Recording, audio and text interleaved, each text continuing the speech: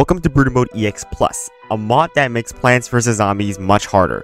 This is an overhaul of the Brutal Mode EX mod, making the game even more challenging. This mod was made by an anonymous modder and has no official name in English. I decided to go with Brutal Mode EX Plus since it's built upon Brutal Mode EX. Most plants and zombies are changed in Brutal Mode EX Plus. This mod increases zombie spawning by 4 times compared to vanilla. After all, PvZ1 was never really a game of any challenge when you could beat it without using some producers for the entire adventure. What makes this mod insanely difficult is the zombie variants. Each variant is a new zombie introduced in this mod, a subtype of their main zombie and does different things. They also need to follow the same spawning rules as the zombie they are a variant of. Most of the variants are outright unfair, like the Letterhead zombie. It spawns every 1 in 9 basic zombies. It has double the health, walks super fast, and ignores all plants. Seems like a completely balanced addition to the game. Flag Zombie now has the ability to steal your sun whenever it is present on the lawn, draining it very fast. If not dealt with quickly, you might have no sun left to deal with the rest of the zombies, so we gotta watch out for them every level from now on. Thankfully, we can beat level 1-1 since it's short and we only had one lane to deal with. Now in level 1-2, I'll be using the 50 second stalled strategy again, this level has a special rule set to try and make you plant 3 sunflowers. We can simply ignore its suggestion and only plant 2 sunflowers, so it won't spawn zombies until 50 seconds have passed, giving us much more actual sun to work with once the zombies start coming. However, there's a slight issue here. The Letterhead variant is already trespassing all our defenses because of its higher health compared to a basic zombie. One pea shooter is not enough to kill it, and we just have to let it walk past our defenses and straight to the lawnmower this level. And now for what's to come, another Letterhead zombie comes in the middle row. Because we don't have a second pea shooter, it just walks past our sunflowers, past our pea shooter, and then um, we lost on literally level 1 too. It's literally only basic zombies. Are you serious right now? So to beat level 1-2, while doing the 50 second wait strategy, I have to sacrifice one lawnmower to a letterhead zombie first, and then get two pea shooters in that row as fast as possible. Repeat that for every lost lawnmower, then pray the final wave doesn't have two letterheads in the same row, allowing us to win with no lawnmowers left. Mind you, this is only basic zombies and it's already really bad. Conehead zombies are introduced in level 1 free, many new variants. Coneheads have two variants on top of their base zombie, and they're arguably worse than Torchlight zombies. The first one is the Gramophone zombie. It's a regular conehead zombie, except it heals all zombies around it in a 3 times 5 tile area by 100 HP every 6.5 seconds. Which essentially means you're not killing it with a pea shooter, because pea shooters only deal 20 HP every 1.5 seconds. Which also means we're forced to cherry bomb. The second one is the dancing conehead zombie. It's a regular conehead zombie, but spawns 4 backup dancers upon death. They spawn backup dancers no matter where they die. The strategy is about the same as the previous level, but with access to Cherry Bomb now, we want to save them for the Conehead Zombie variant. We then proceed to beat this level also with no lawnmowers remaining, using a Cherry Bomb to fully eliminate the final waves, letterheads, and coneheads. 1-4, now we have 5 rows. You see the problem here? We have literally only pea shooters to defend all 5 rows. This is horrendous. Because we need to spread out our pea shooters in 5 rows, this means we can never get enough defense to kill letterheads in a single row when we are trying to deal with coneheads. Oh yeah, and there's also this problem with the dancing conehead variant that will be a headache.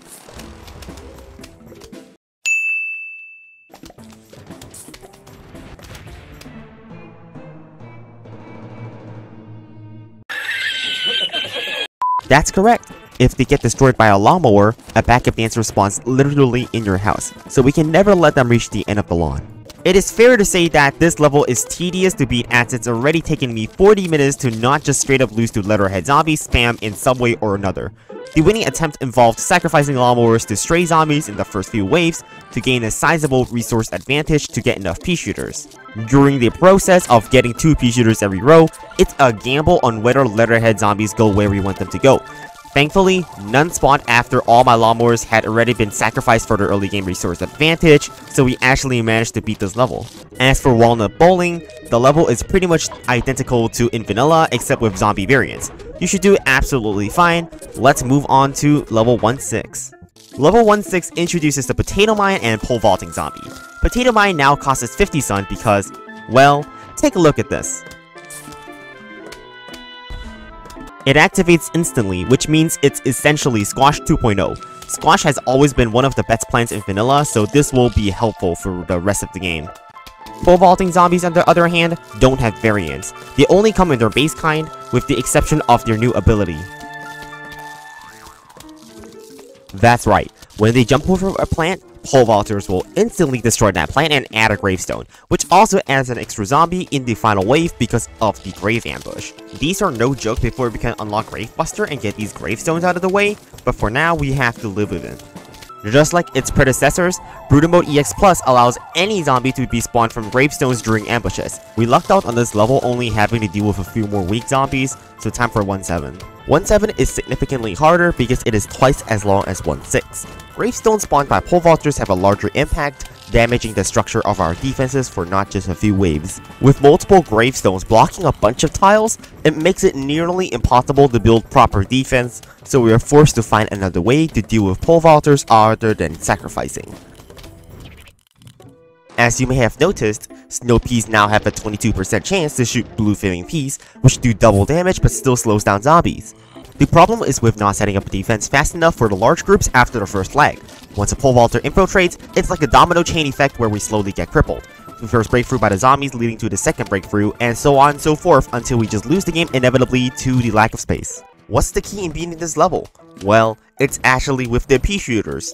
Pea shooters received the buff, which you might not have noticed. This hasn't been significant since every other level so far has been a one flag level. But pea shooters actually now gain attack speed over time, up to shooting 50% faster. Usually in the short level it doesn't matter because pea shooters barely gain any extra attack speed. But in a longer level, this becomes pretty noticeable. Instead of planting more sunflowers early on, we need to plant more pea shooters early on to let them gain more attack speed going into the first flag. This means they are more cost efficient the earlier they are placed, making them worth keeping into the later part of the game, and also more space efficient.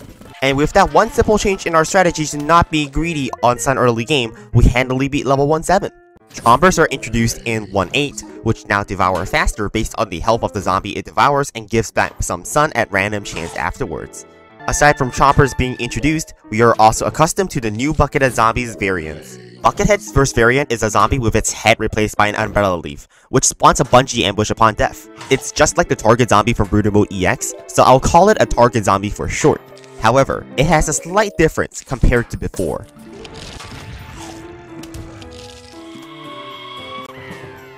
Oh, hell no, man. What the So yeah, now even bungee ambushes can spawn any type of zombie, including gargantuars.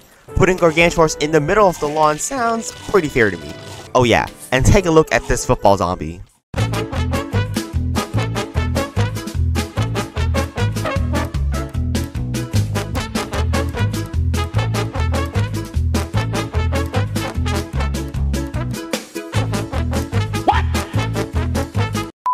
The other Buckethead variant is possibly even worse.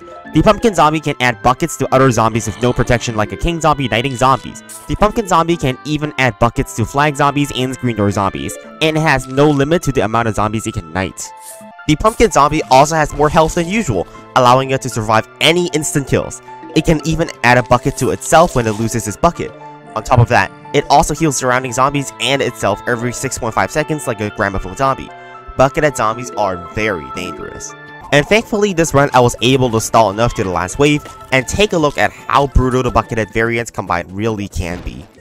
Level 1-9 is fairly simple with the newly buffed repeater being more space efficient than pea shooters. Repeaters have a 33% chance to shoot 2 extra peas in diagonal directions every shot. Conveyor belt levels are pretty much unchanged outside of zombie variants, but with the masses of pea shooters, you should be able to obliterate everything the game sends at you. Nighttime is when things go bad pretty quickly, even though Puffshrooms are actually buffed to have a 23% chance of freezing any zombie eating it, the main problem are the buffed zombies. I'd like to enlighten you with the newspaper zombie. Visually, it appears to not have changed at all, but this is a, you guessed it. What is different about the newspaper zombie, you ask?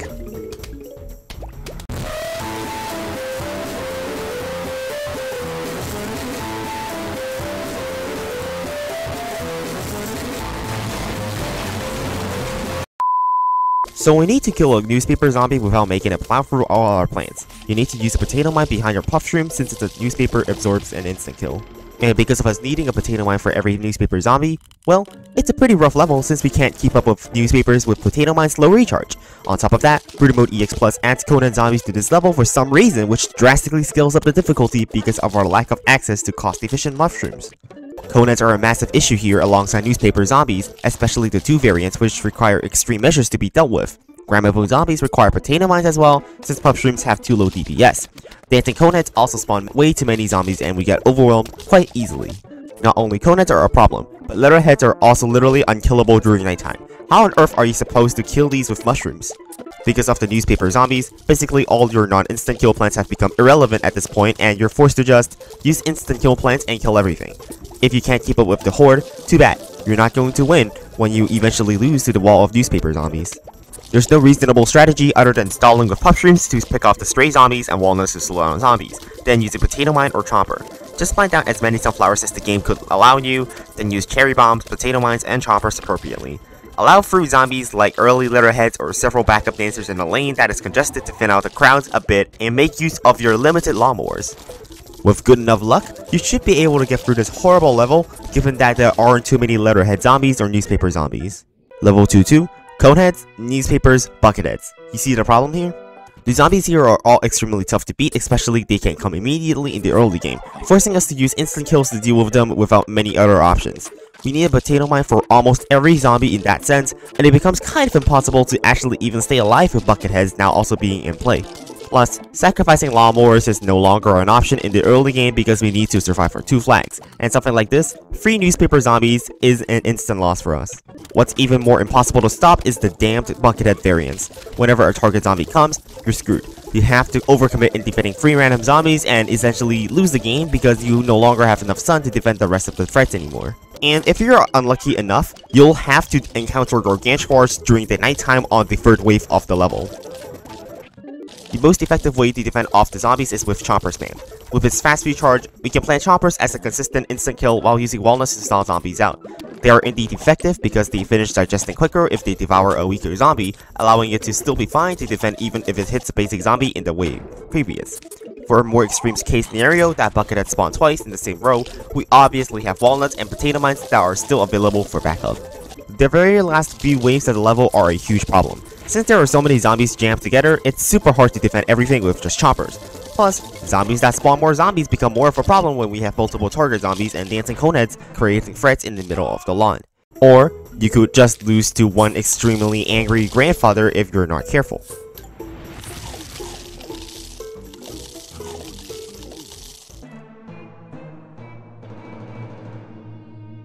Oh yeah, did I mention that pumpkin zombies can also knight zombie variants? Well... This process of either losing to the early game swarm of zombies impossible to defend without instant kills, or losing to zombies that spawn more zombies repeats itself again and again. It's actually ridiculous.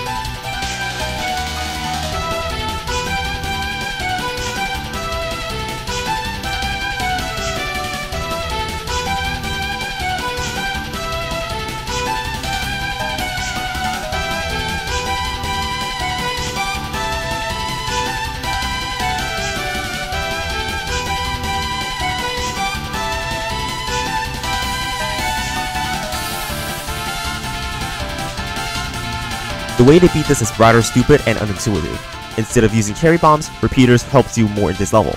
You end up stabbing yourself in the toe more often than not with cherry bomb because of it to likely activate a newspaper zombie, losing you the game. Repeater is better to pick off any stray zombies such as backup dancers spawned by dancing coneheads or just lanes without newspaper zombies. Then, as soon as newspapers come, we have the control to remove the plant that could activate the newspaper zombies rage mode and allowing our chompers to just do their job. Sounds extremely stupid to spend 200 sun for just killing a few zombies, but when the alternative is losing instantly, it actually isn't that stupid after all. After 2-2 is done, we can buy our 7th slot to make our journey a bit easier. We are also introduced to the Screen Door Zombie and Fume Shroom. Fume Shroom is back in its former glory of Brutal mode, costing 100 sun but allowing it to hit all zombies in front of it with unlimited range. Now, Screen Door Zombies can pretty much be said to be a whole new zombie. Instead of its Screen Door absorbing straight attacks, it deflects all straight attacks, and these attacks can in turn damage your own plants. Might as well just straight up call them Jester Zombies at this point. Screen doors have a variant, holding a tall nut. Their screen door can still deflect straight projectiles, but cannot be pierced through even with fume shrooms or catapults. This means we need to use fume shrooms to knock off their screen door if we want to kill them with raw damage for now, so it's best to spend instant kills on them. The rest of this level is relatively simple. 4-inch fume shrooms will fire down all screen doors and basics and coneheads will be killed by combining puff shrooms. Same as before, spend potato mines, cherry bombs, or chompers on letterheads, conehead variants, and tallnut screen doors. As for level 2-4, it's a whole different story. With two flags, the masses of tallnut screen doors become a much larger problem since we don't have enough instant kills in the economy. Plus, pole vaulters are back to ruin everything as per usual. Thankfully, we now have Gravebuster, which returns 50 sun upon busting a grave with a 1 3rd chance of giving you back 25 more sun. It's extremely difficult because of the pole vaulters. They are so difficult to deal with using fume shrooms, since we can't use other stray shooters thanks to the screen doors. The only way to survive is pray that not too many letterheads or pole vaulters come, and make sure to keep spamming Gravebuster at all times. Spend all your instants on Gramophone zombies and Tallnut screen doors, and Walnuts are surprisingly good here for Tallnut screen doors. And that's about how to beat 2-4. Gotta be extremely lucky against the letterheads and pole vaulters. Remember how 4 times more zombies spawn compared to in vanilla? Well, in level 2-5, that is also the case, except for the fact that gravestones... okay, it can't be that bad, right? Unfortunately, the zombies in this level are simply too plentiful to deal with. The only strategy is to click faster. That's literally not strategy in my opinion. So, I pulled out the oldest trick in the book for Whack-A-Zombie, and that's the auto-clicker. You pretty much have to use one to beat this, I don't see how otherwise. Unless you want to hurt your own fingers and go to the hospital. Well, anyways. That's it for today's episode of Brutal Mode EX Plus. I hope you enjoyed watching this video of me playing a mod even harder than Brutal Mode EX. Before the video ends, a quick shout out to our sponsor today, you guys. Thank you to all donators who have supported me in content creation. As a membership perk, all new videos are releasing early for YouTube members. It will only cost you $5 a month and you can help me make better videos. For now, have a great day and thanks for watching.